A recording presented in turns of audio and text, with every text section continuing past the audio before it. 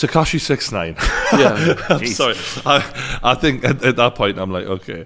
Um, you've been researching this case as well, which is a totally different case, but it's also really in the media right now, um, and you're sort of the king of that at the moment. So, um, he was part of the Nine Trey Bloods. He was he was throwing up the gang signs. He was saying, uh, you know, scum gang in all his music and pr- promoting them. Um, but in reality, he seems to have been, to my knowledge, a stupid little boy who got caught up in some big time dealers. Yeah.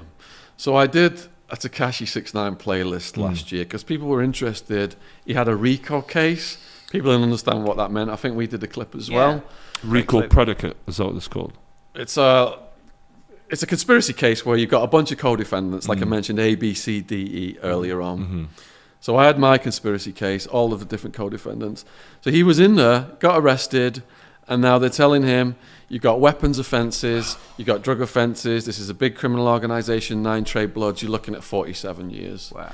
And now looking back, we see from the paperwork and from his testimony that he did roll over quite quickly and agree, agreed to cooperate. 24 hours is quick, isn't it? to be fair to him, he was fucking kidnapped by the guys he was up against. So I kind of understand, but I think they all get what they deserve here at this It's point. It's as if he, he went, fucking, these guys are criminals. 47 Oh years. Yeah. Yeah, but there's a blood in, blood out pact with these gangs. If you're going to roll on them and you're going to get up on the stand and send Shotty and all these other guys Uh-huh. down on big sentences for the rest of your life, you've got KOS, you've got kill on sight.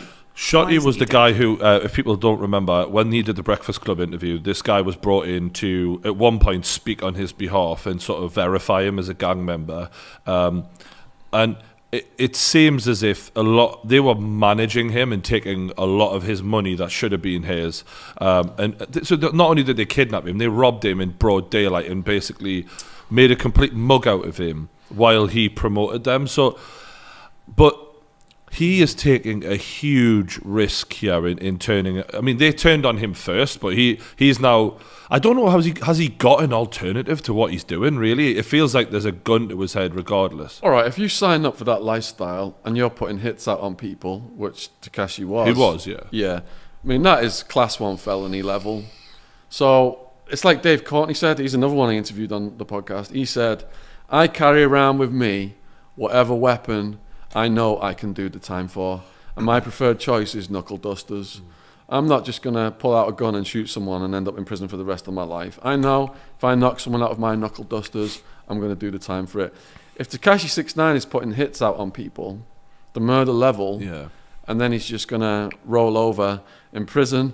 That would be called a bitch move. He's sending everybody else down. So you what know. would happen? You just K- KOS. KOS, yeah, he's going to have KOS for the rest of his life. He's KOS now then. He's, he, he's and his family so- members. Yeah. Wow, He's that's been so stupid because uh, he wanted to promote himself and live that lifestyle and, and be the, the guy who's like, I, I really do this. Like he literally says that in his quotes and his lyrics.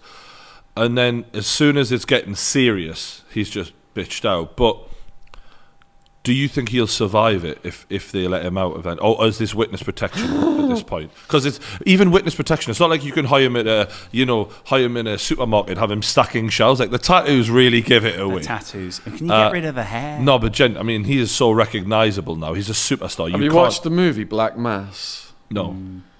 You know about that gangster that movie was about? The Irish. Um, God, what's his name now? Well, I first thought of Goodfellas because obviously Henry pull, pull Hill, Black Mass. Hen- Henry Yeah. Hill fucking Henry Hill went down to Goodfellas, testified, and then eventually sold his story later on down the line. But it's not like Yeah. you can't do that. You're Tekashi Six Nine. Like the whole world knows what you look like. So in Black Mass, he was in the prison system, supposed to be protected.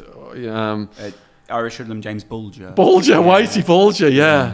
So he, it was Whitey, played by um, uh, Johnny Depp in the film. Yeah, so Whitey Bulger ends up getting moved around the prison system to a, a place where the mafia finally caught with him and took him out. So I don't know how strong and how tight the nine trey bloods are across the country and mm. how you know far their tentacles reach. But if he gets put in witness protection, for example, They, they weren't oh, like he's got all these tattoos on his face. How's he going to hide? Yeah, they, they weren't bloods in the sense of like West Coast bloods, though. They, it was like the New York. It was a specific sort of. It seems quite a small group. But it's a prison gang, which is heavy Yeah. Because the people running the prison gangs are the people perhaps doing life for murders and stuff mm-hmm. like that. They don't play around. They've got nothing left to lose. Yeah, really. yeah. But he's got nothing left to lose, and he took the alternative. Well, he was where it's like- fucked. Yeah. it was either life in prison or snitch and have some sort of life. All right, they say it's life in prison in the beginning, but then if you all hang tight and have a united defence, like we discussed in the other mm. clip that we mm. did, the prosecutor in the beginning is saying you guys all are facing life because they know domino effect. If one falls, they all fall. Like that was what happened in Sammy the Bull's case a couple of years before mine. All 57 agreed to cooperate. In my case, everybody hung tight. Only four agreed to cooperate out over 100, and it wasn't enough.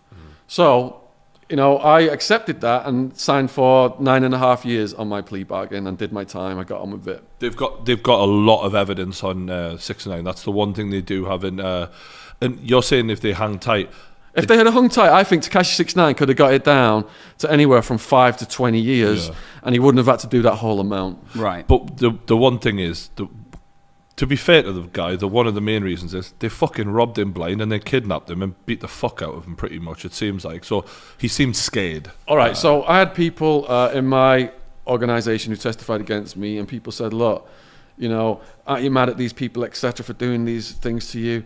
And I said, "No, I take responsibility for choosing my association with those people. Mm-hmm. That was my decision. So whatever consequences arise after I make that decision, mm-hmm. that's on me." Yeah. He chose to be in the mix of people he knew were running a drug gang and conspiracy to murder operation. So he's got, he's got to accept He's acting like for a his child. choices. He's act. I mean, he's 23, but he's acting like a, a child who just has not thought through any of this at all, and now it's getting real, and he's like, "Fuck this." Um, He's fucked you- for the rest of his life. It's a seen- no-win situation. Uh, do you think he can ever get out and, and, and remake music and go back to that? All right, because so- he's even he's he's pointing the finger a little bit at Cardi B, and he's pointing the finger a lot at. Do you remember Jim Jones? yeah. He's really just said like he was the fucking retired rapper. He literally just released an album. And and all right, so there was two co-defendants that didn't sign plea bargains that went to trial that caused Tekashi to have to get up in court and give testimony under oath. He's already cooperated against all the others. They've signed their plea bargains on just on what he said on st- on re- on the record with, with the with the cops. So by doing that now, you know he um, it's it's KOS snitch category for the rest of his life. There's no coming back from that. But Henry Hill, for example, and we're talking real mafia. We're Yeah. talking like the mafia. He snitched on uh, everyone. That, that, for those who don't know, the guy who Goodfellas is about lived the rest of his life out. They never came from. Yeah, So they only just got Whitey Bulger, and Henry Hill was a, was a low level associate. yeah, but he he sent a lot of them down though. That was one of the things. Like, you know what I mean? So yeah, but it, it, you know, it, look how long it took for them to catch up with Bulger. yeah. Sammy the Bull, they've not caught with him yet. He's back out now. He got released. and you had contact with him. Didn't he was you? my competitor in the XC market. Uh-huh. His uh, people took my top sales guy. They enticed him to a nightclub in Scottsdale under the pretext of doing a drug deal and knocked his teeth out. Mm. Sammy the Bull's son told me in prison he'd been dispatched one night to kidnap me from a nightclub and take me out to the desert. Mm-hmm.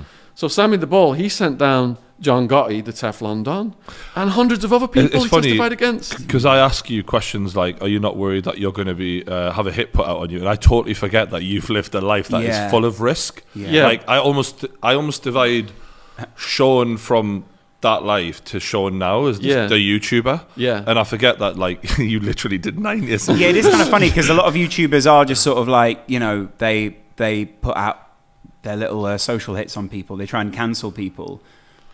I think we put Shaun in that category weirdly, and now and then actually though Shaun's lived a lot of life before Yeah, that, and, has and been similar to myself, you've had a, a real life, and, and you've actually had way even one of the few people I've met who've had more of a life than I have. even. um, Well done, Shaun. and and uh, and for the record, I, I hate those cunts who try and uh, cancel people and stuff. But I'm on um, good terms with everybody. I'm on good terms with the G Dog and the New Mexican Mafia people. Yeah. Have any of them reached out to you from the past? Yeah, G Dog has reached out. Uh-huh. G Dog was the guy who took me over to meet his brothers, and they had my back because we protected G Dog. I believe I told you that story where Yeah. um, he pulled out the cop on the gun. The Did I tell you on that one? Yeah. The, the cop walks in the house. I can smell weed. Nobody Yeah. move. And G Dog's like, the only one who's not moving is leaving is you, motherfucker. And we all ran off into the night. yeah. Fuck's sake. And I just met the met the guy. Yeah. he jumps into an apartment nearby that we, we've got. Mm-hmm. And because we protected him, he says, Me and my brothers have got your back. Mm-hmm. Go over to brother's house. they've got the rocket propelled grenade launcher on the TV, and a, a, a guy who's on a killing spree s- swings a spoonful of coke in my face. Says snort this, you know, because they want to see if I'm an undercover cop or, or whatever. But a couple of years later, they're all headline news at that house, all busted, all their photos, heads of the New Mexican Mafia. And it was G Dog who had my back then. He was one of my bodyguards when I was doing the rave stuff.